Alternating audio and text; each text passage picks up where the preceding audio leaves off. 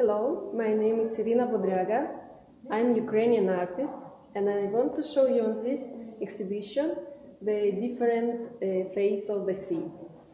In the first painting, uh, here is the sea which it's calming. Here we see the colors and uh, the waves of the water which is give you this peaceful and uh, nice mood after the rain and these colors are more calming. Another painting, as they call it, Greek coffee. What's famous Greeks is a love coffee and of course a beautiful sea. What it could be better than cup of infuriating coffee.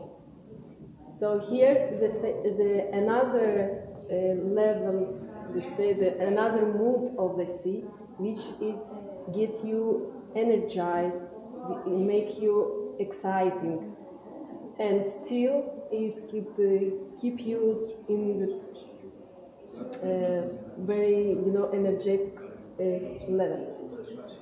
Here it's another kind of the sea.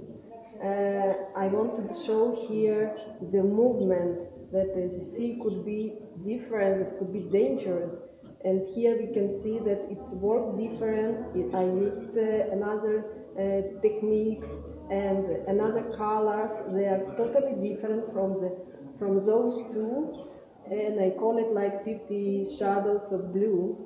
As much it could give you this movement and to give you the power of the sea. So this is my abstract. And of course, here's another one, one cute, cute kitten, which one I wanted to give through these uh, eyes how playful he is, how cute he is, to give another emotion and to uh, just to join it. You see and you say how cute he is. So I, I'm happy to show here my exhibition.